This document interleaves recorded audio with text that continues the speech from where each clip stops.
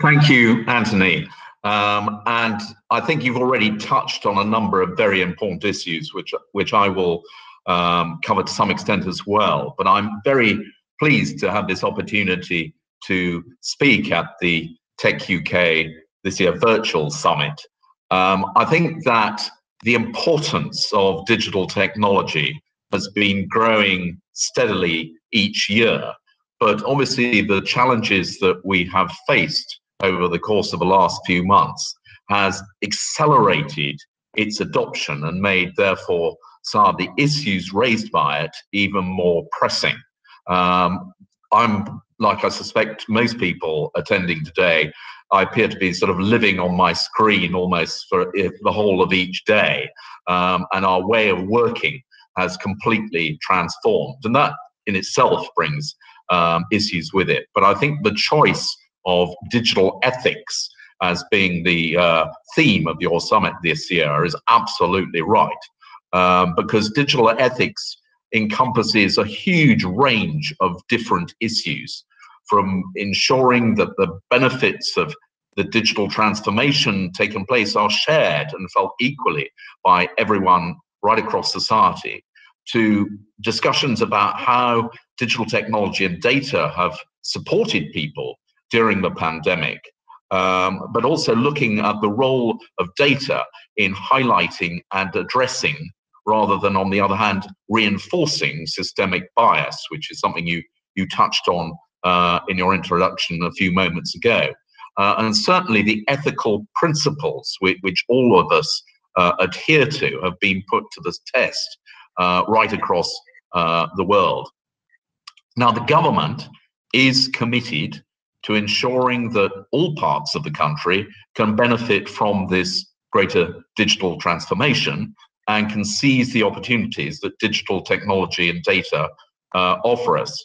Uh, and I've no doubt that we will hear a lot of examples throughout the summit about the potential for data te uh, digital technology and data to fuel innovation and growth. And that is very much uh, the theme of the government's approach. Uh, but at the same time, while we see, we, we see the use of digital technology and data as opportunities uh, to be embraced, uh, we are also very conscious of the risks which we need to guard against in a proportionate and targeted way. Uh, we need to acknowledge that there are risks such as human introduced bias, discriminatory outcomes, or indeed unsafe applications. Uh, and they need to be addressed if we are to obtain the huge benefits that are offered by this technology. So, responsible use of data and digital technology is absolutely key. Uh, and by responsible, we mean data and digital technology being handled in a way that is lawful, secure, fair, ethical, sustainable, and accountable, whilst supporting innovation and research.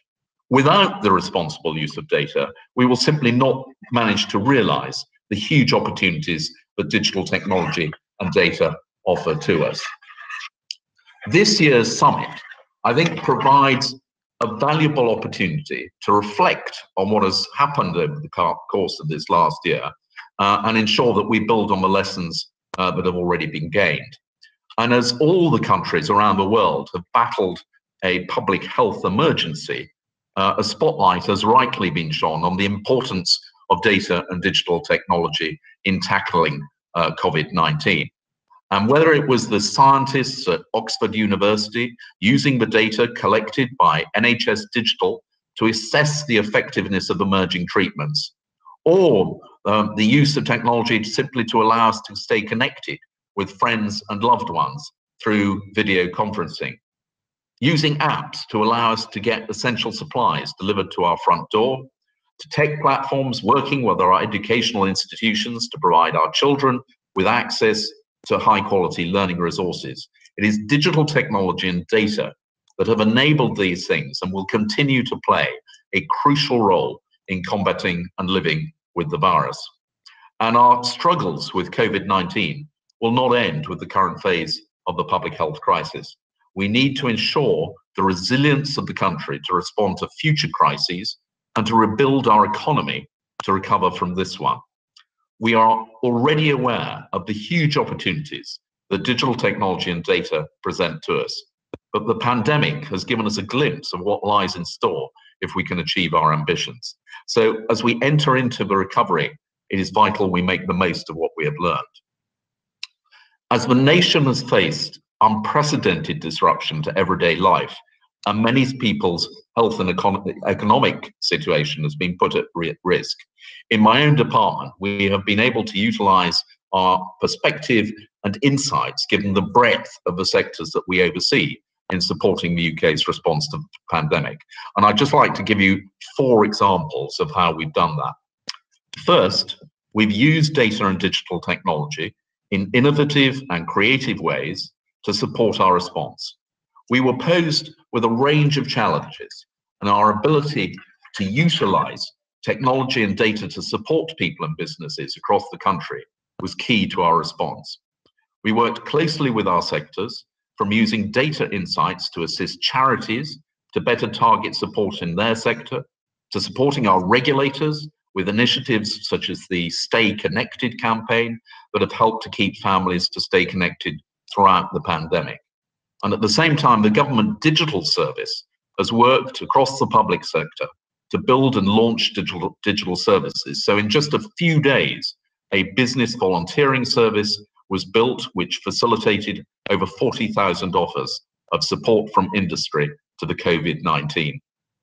We've also supported individuals and businesses to acquire digital skills to support their well-being and future prospects it was very clear from the early stages of the pandemic that digital skills would be absolutely crucial if we were able to stay connected, participate in the workplace, uh, and to manage our own physical and mental well-being.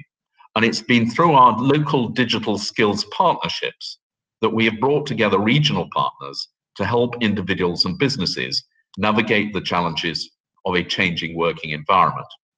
Through this initiative, we were also able to support vulnerable groups to access the digital devices that brought them closer to their loved ones. Digital skills have also been essential to analyze data that was the key to understanding the spread of COVID 19 and where and when to target the measures to stop it. The government recognise that digital skills will be essential for our long term recovery.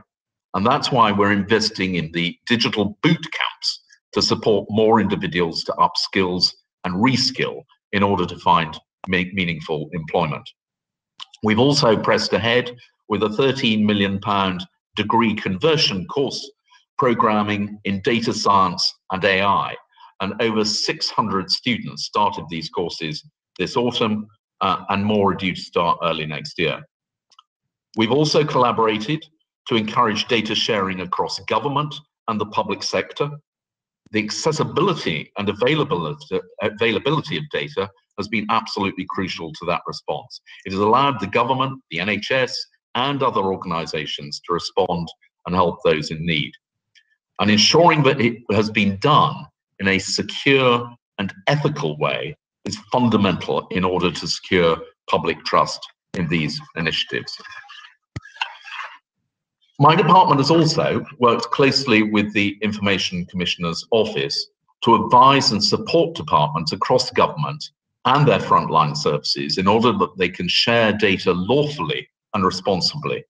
And whether this has been through the development of the contracts tracing systems or the provision of support uh, for food parcels for vulnerable people, or the introduction of visitors' logs in uh, public places, the ICO has supported the government departments to develop pragmatic and privacy-friendly solutions.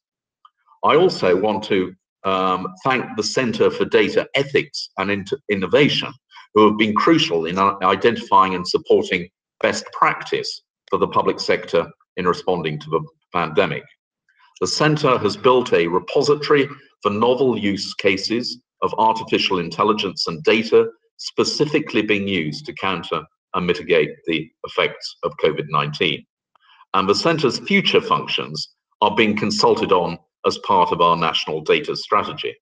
But I hope that the centre will be able to support more of this sort of responsible innovation, bringing direct benefits to our citizens in future.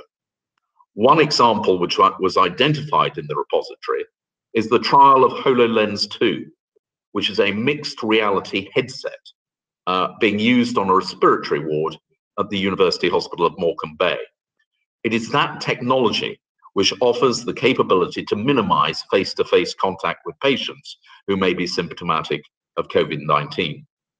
Local authorities have also been deploying technology in novel ways during the pandemic. Just to give one example, Swansea Council has used chatbots to provide confidential support to abuse victims, while Argyll and Bute Council has trialled drone technology to deliver vital medical supplies across its islands.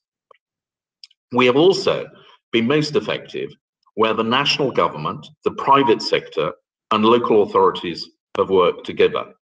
Just to take the Vulnerable Person Service, which has supported hundreds of thousands of extremely vulnerable people right across the UK to access priority supermarket deliveries, deliveries and a variety of local support. That couldn't have happened without the necessary data sharing agreements between central government, local authorities, and the private sector. COVID 19 has shown how important digital technology and data is for our society. And these technologies are only going to become more important as we look to rebuild our economy. It's shown us, but it is important that we have the right data and digital skills across the UK, and that that collaboration between government, the private sector, and civil society is key in order to deliver these important initiatives. We've also seen that we need to create an environment where data is usable, accessible, and available across the economy, and privacy and protection is factored into its use. We need to take a considered approach that balances and manages the myriad of consequences that come with making data available. And lastly, it's absolutely vital that we take people on the journey with us. We will not be able to persuade people of the opportunities that digital technology and data present to us if we don't use them in a responsible way. We need to ensure that these lessons are not lost. They've shown us what is possible and given us an insight into the incredible power of digital technology and data. So, how do we take it forward from here? As you've mentioned, the National Data Strategy is the central part of the government's wider ambition for a thriving, fast growing digital sector in the UK, which is underpinned by public trust. And I'd like to thank techUK and many, I suspect, of those on the call today for supporting the development of the strategy and for engaging in our consultation. We extended the consultation until today, to, um, today uh, because of the many requests that we had and the large number who wished to respond. Uh, and the team here will now be analysing all the responses that we have received, and we will in due course publish a government response. But we are already working to, pro to progress a number of the actions we set out in the strategy in order to realise these opportunities. Part of this is about addressing the basic foundations, and we've recently seen key progress in tackling issues of data quality across government with the publication of the Government Data Quality Framework. The framework provides a set of principles for managing the quality of data effectively in government and practical advice to support their implementation. We also remain absolutely committed to establishing a pro growth and pro innovation data regime while maintaining public trust, as well as facilitating international flows of data underpinned by high data protection standards. Key to driving progress will be the establishment of the right structures to ensure that we can monitor and assess progress across the five key missions so that we can deliver tangible results. Beyond data, we are committed to driving growth in the digital sector and wider economy, and to ensuring that we maximize the benefits of a digital-led economic recovery. So the forthcoming digital strategy will support and build upon the objectives set out in the National Data Strategy, both in the context of the pandemic and how we can use digital technology to support recovery and build back better. It's vital, as I say, that the lessons are not lost and that we take them forward, not only through our recover, recovery, but also because digital technology and data will be important in supporting us to tackle future challenge, such as meeting our net zero targets. And there's been some very useful work done recently showing how digital technology can play an absolutely vital role in ad addressing our climate change uh, challenges. So it's been just nearly a year since we have been forced to adjust to COVID. It's been an extraordinary year for everybody, I no doubt, who is taking part. Um, all of us have had to make sacrifices in the way that we live. But as the examples that I've given suggest, DCMS, for instance, would not have been able to support the response to the pandemic without collaboration across the public and private sectors and civil society. So I want to use this opportunity to thank everybody uh, at the summit for the help that you have given us. Um, we have learned a lot already, and we need to ensure uh, that we take those lessons forward. And now that the Pfizer BioNTech vaccine has been approved to be rolled out across the UK after months of clinical reason, uh, trials, we have at least some reason to look forward to 2021 with a positive outlook. So we are committed as a government to ensure that we can realize the opportunities that the responsible use of data and tech can bring to the UK, and we will continue to ensure that these technologies will drive the delivery of key government priorities. Thank you.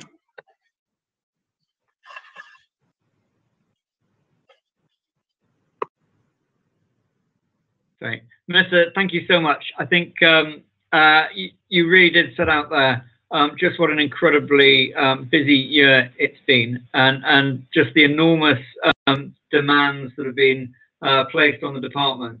Um, and, and, I, for one, certainly, I, I, I think, um, you know, you talked about the, the, the, collaboration that we've seen this year. And I think, you know, it has been outstanding, actually, uh, the level of collaboration, both uh, with private sector, but also the work that we've seen across departments as well. Um, and I think it has been absolutely essential to to uh, kind of keeping keeping the economy going, driving the, the response to, to the pandemic, and so on. So huge thanks uh, to everybody in the department for, for all of that. Um, I just had one one kind of question, um, which is about um, you know we're, we're talking about kind of uh, digital ethics, um, uh, about the um, which, which, obviously is clearly a, a, a global issue. Um, and um, and if we're going to develop uh, uh, enduring solutions to this, it has to be based on kind of global kind of uh, cooperation and, and, collaboration.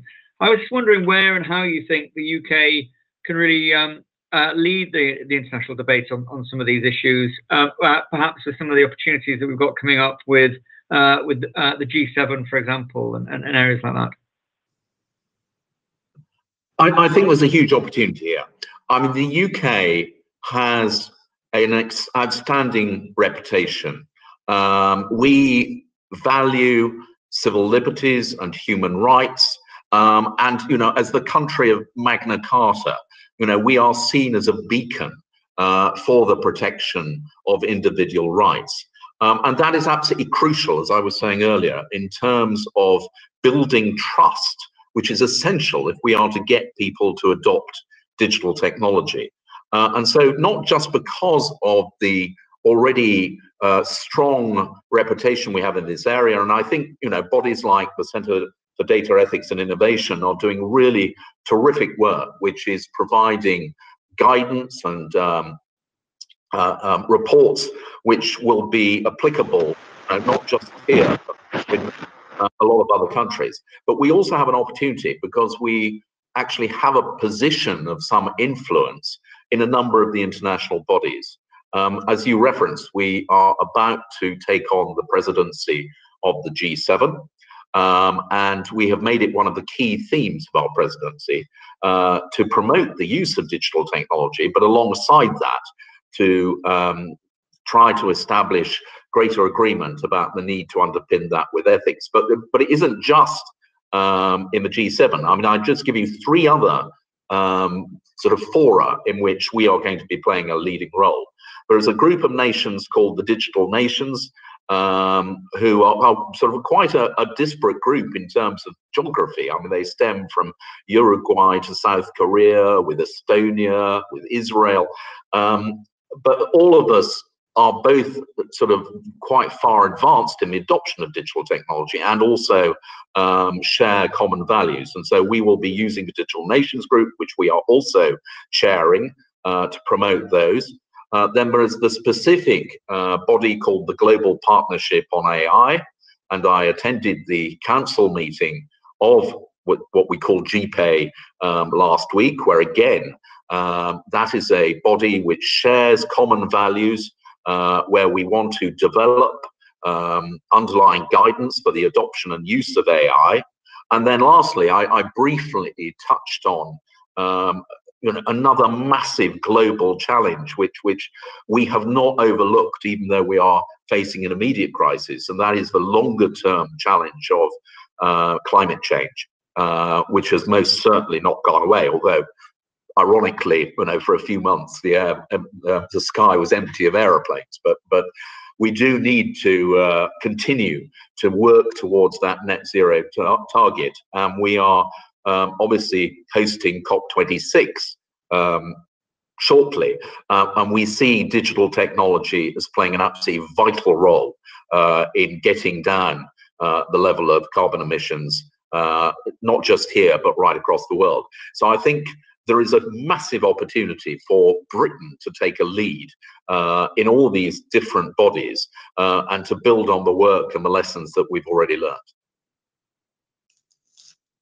Minister, you, you've set out um, just how much has been achieved this year, what a busy year it's been, um, and then and now you just set out um, what sounds like an extraordinarily busy year. Uh, um, and uh, I'd just like to say thank you so much for joining us today. Um, and you know, we very much look forward to working with you um, uh, next year. Uh, so thank you so much.